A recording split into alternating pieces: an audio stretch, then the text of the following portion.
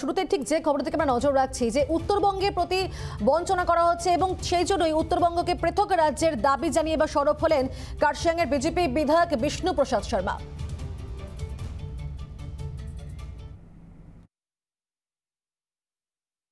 না, উত্তরবঙ্গ বঞ্চনার শিকার আছেই বটাই আছে, সেখানকার যত লোকজন আছে ওদের, দেখেন, আজ, আজকে যদি উত্তরবঙ্গের লোককে দিদি ভালোবাসতেন ইয়ে ইএফআরটাকে মতলব নষ্ট করার পথে উনি যেতেন না।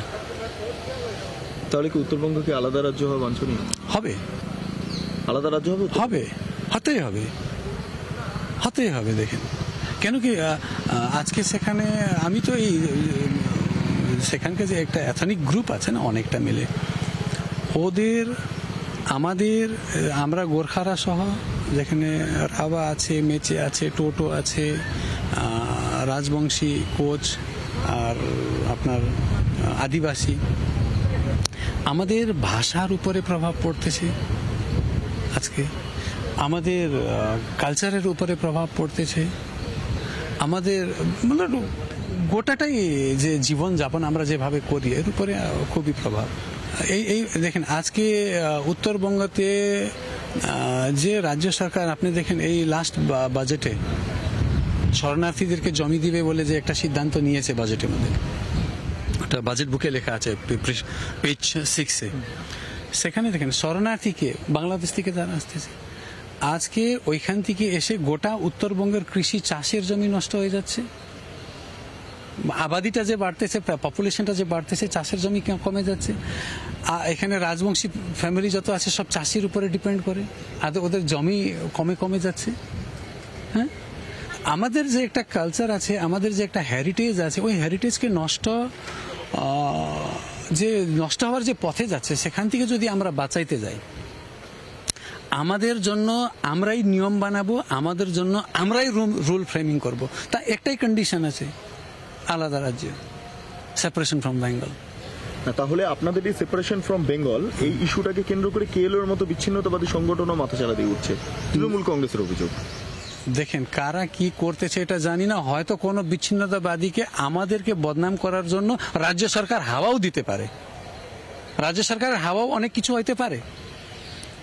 আপনি জানেন, আমি এই বিধানসভায় উত্তরবঙ্গের কথা তুলেছিলাম, গত বিধানসভায়। তার ঠিক দুই দিন পরে একটা সংগঠন উপরে গিয়ে আবার গোর্খারা বিদেশ থেকে আসছে, অমুক তমুক বলল, যারা জমির সঙ্গে এখানে আছে। ঠিক আছে। ওইটা কে দিচ্ছে আবার? এটা রাজ্য সরকার আবার দিচ্ছে। এটা বলো ঝগড়া করো।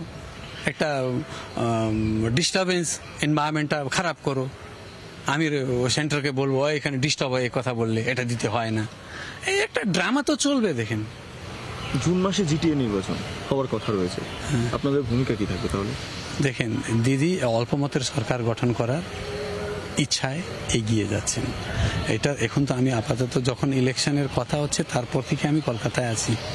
আমি আজকে যাচ্ছি আমার বিধানসভা ক্ষেত্রে। যাওয়ার পর আমাদের যত গঠবন্ধন আছে আমাদের যত লিডাররা আছেন, সবার সঙ্গে মিলে আমরা আলোচনা আলাপ করব। আমরা কিছু স্ট্যান্ড তো নিবই। হুম, আমরা রাজনৈতিক দল, এটা কিছু স্ট্যান্ড নিবই। উত্তরবঙ্গের প্রতি বঞ্চনা পৃথক। উত্তরবঙ্গ রাজ্যের দাবিতে এবার সরব হলেন কার্শিয়াঙ্গের বিজেপি বিধায়ক বিষ্ণুপ্রসাদ শর্মা। তবে ঠিক এই প্রথমবার নয়, এর আগেও কিন্তু একাধিক বিজেপি বিধায়করা তারা ঠিক এই ইস্যুতেই সরব হয়েছেন। এই মুহূর্তে আমার তিন প্রতিনিধি আমার সঙ্গে রয়েছেন, সুবিরেশ রয়েছেন রয়েছেন কিংসুক, রয়েছেন উর্মিলনেন প্রথমেই যাব সুবিরেশের কাছে কারিমবং থেকে রয়েছেন সুবিরেশ। সুবীর, দেখো এর আগেও কিন্তু আমরা দেখেছি একাধিক বিজেপি বিধায়ক তারা ঠিক এই ইস্যুতে সরব হয়েছিলেন যে কোথাও কি উত্তরবঙ্গকে একটা পৃথক রাজ্য করার। ঠিক একই দাবিতে এবার সরব হলেন কার্শিয়াঙ্গের সেখানকার বিজেপি বিধায়ক বিষ্ণু প্রসাদ শর্মা।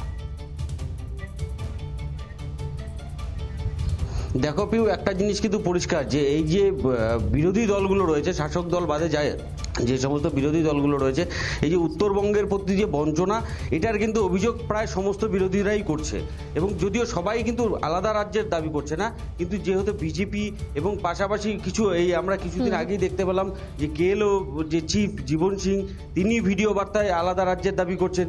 এই এই এছাড়া যে অন্যান্য রাজনৈতিক দলগুলো রয়েছে তারা কিন্তু আলাদা রাজ্যের দাবি না করলেও তবে উত্তরবঙ্গের প্রতি যে বঞ্চনা হচ্ছে সেটা কিন্তু তারা বারংবার বলছে এবং সেই কারণেই তারা চাইছেন যে উত্তরবঙ্গের উন্নয়নের জন্য আলাদা কিছু করা দরকার এবং বিজেপি চাইছেন যে উত্তরবঙ্গে উন্নয়ন, উন্নয়নের জন্য যে আলাদা রাজ্য বা কেন্দ্রীয় শাসিত অঞ্চল করা উচিত, এটা কিন্তু বারংবার বলেছেন।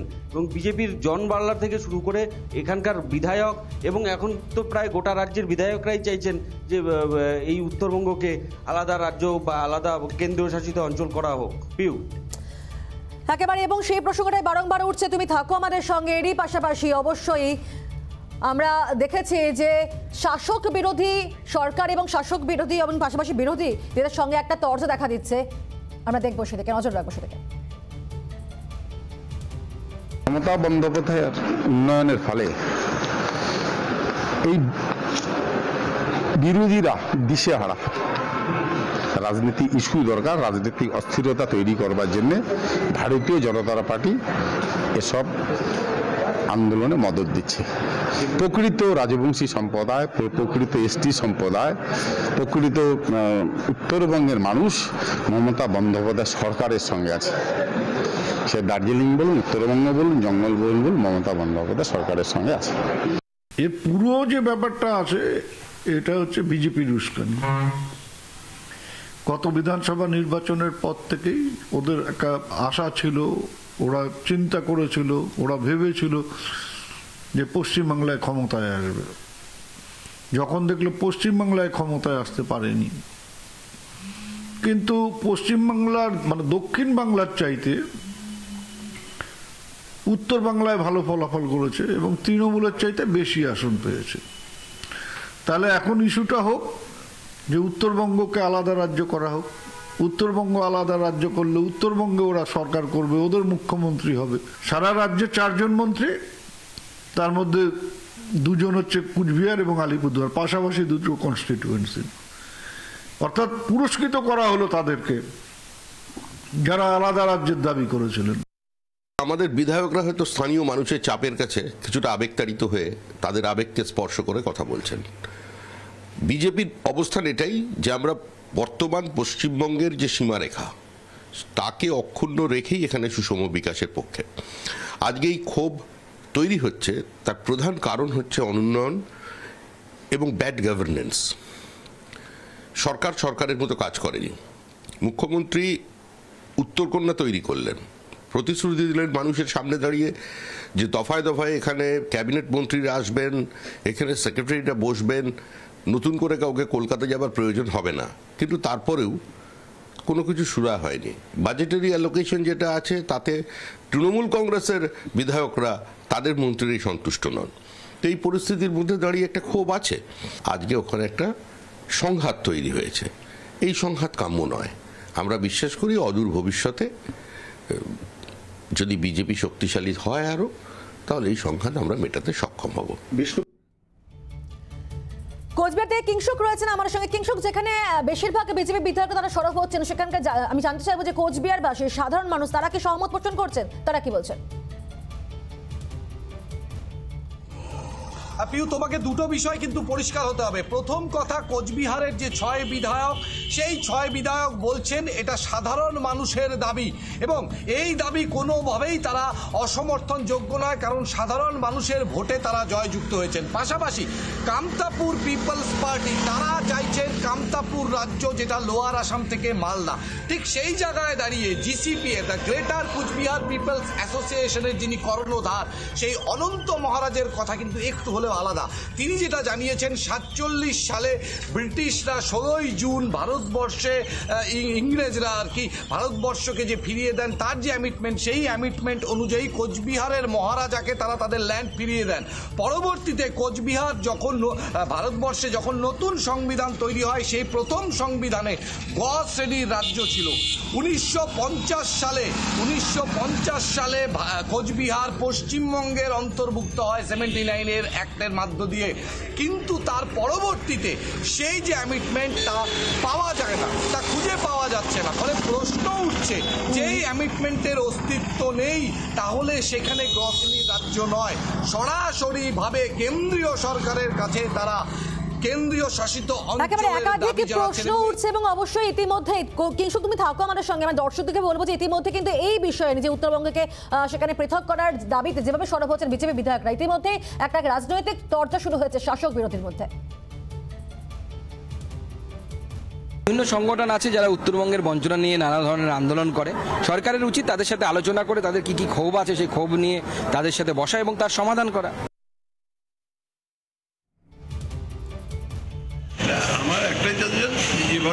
হচ্ছে উন্নয়নটাকে সমর্থন করা দেশভাগের কথা বলে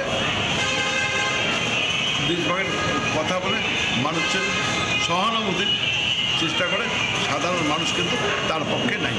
বিজেপি তো বলবে, তার কোনো কাজকর্ম নাই, এতগুলো এমএলএ কোনো কাজ করে না, উন্নয়ন করে না, এমপিএসএ কোনো কাজ করে না, কোনো উন্নয়ন করে না, শুধু এখন সামনে নির্বাচন হচ্ছে, তাই তাই এদের একটা কিছু বলতে হয়, তাই বিজেপি ওটাকে সমর্থন করে, মানুষকে উস্কানোর চেষ্টা করছে। মানুষ যদি কিছু চায়, একজন জনপ্রতিনিধি হিসাবে, আমি তার বিরুদ্ধে তো যেতে পারব না। কারণ মানুষ তো আমাদেরকে নির্বাচিত করেছে। মানুষের কথাটাই আমাদের সরকারের দ্বারে পৌঁছে দিতে হবে। এটা আমাদের দায়িত্ব। স্বাধীনতার পর থেকে কি শিল্পায়ন, কি যোগাযোগ ব্যবস্থা, কি শিক্ষা, কি স্বাস্থ্য, এক্ষেত্রে কোন উন্নয়ন রাজ্য সরকারের পক্ষ থেকে উত্তর বাংলার মানুষ পায়নি। শুধু বঞ্চনা পেয়েছে, বঞ্চনা বঞ্চনা আর বঞ্চনা। তার থেকে তো মানুষ মুক্তি চায়। দেখুন, উত্তরবঙ্গবাসী হিসেবে উত্তরবঙ্গের মানুষের যে দাবি, সে দাবি আমাদের স্বরাষ্ট্রমন্ত্রীও স্বীকার করে গিয়েছেন যে উত্তরবঙ্গের মানুষ দীর্ঘদিন থেকে অবহেলিত, বঞ্চিত, নিষ্পেষিত। মাননীয় সরকার উত্তরবঙ্গ থেকে এইমসকে দক্ষিণবঙ্গে নিয়ে গেছেন। দক্ষিণবঙ্গে প্রচুর সুপার স্পেশালিটি হসপিটাল আছে। উত্তরবঙ্গের মানুষের কথা তিনি ভাবেন না এবং ভাবেননি আজও ভাবেন না। উত্তরবঙ্গের মানুষের এই দাবিকে আমরা সমর্থন করছি, আমরা জনগণের সঙ্গে আছি, জনগণের দাবিকেই আমরা সমর্থন করছি। উত্তরবঙ্গ অবহেলিত হয়তো আজকের না, এটা বামফ্রন্ট আমলের থেকেই চলে আসছে। উত্তরবঙ্গের কোনো উন্নয়ন হয়নি। উত্তরবঙ্গের বেকারের বেকারত্ব কোনো চাকরি বা কোনো রকম কল, কারখানা, ফ্যাক্টরি কোনো কিছুই নাই উত্তরবঙ্গে। উত্তরবঙ্গ বঞ্চিত। আর বঞ্চিত থেকেই সাধারণ মানুষের দাবি, মানুষ দাবি করছে যে উত্তরবঙ্গের এত ট্যাক্স ওরা তুলে নিয়ে যায়, অথচ এইখানে উত্তরবঙ্গে সেরকম কোনো কিছু করা হয় না। তো উত্তরবঙ্গে সাধারণ মানুষের দাবি। উত্তরবঙ্গবাসী আওয়াজ তুলেছে। উত্তরবঙ্গ আলাদা হোক উত্তরবঙ্গ বামফ্রন্ট আমল থেকে অবহেলিত, নির্যাতিত, শোষিত। উত্তরবঙ্গে এরা, মন্ত্রীরা এসেছেন, হাওয়া খেয়েছেন, স্বাস্থ্য ভালো করেছেন, চলে গেছেন। উত্তরবঙ্গের দিকে এরা তাকাননি। উত্তরবঙ্গ যে ট্যুরিজম সেন্টার উত্তরবঙ্গ। এখানে এনারা মোৎসব করতে এসেছেন। কিন্তু শিল্প পরিকাঠামো এই জায়গাগুলোতে এনারা নজর দেননি। এখানে কোনো ভারী শিল্প গড়ে ওঠেনি। তো কি শিক্ষা ক্ষেত্রে কি চাকরি ক্ষেত্রে, কি ব্যবসায়িক ক্ষেত্রে সব দিক থেকে উত্তরবঙ্গ বঞ্চিত যার জন্য উত্তরবঙ্গের দাবি, মানুষের দাবি উত্তরবঙ্গ আলাদা এই যে অনেক ধন্যবাদ তোমাদের প্রত্যেকেই।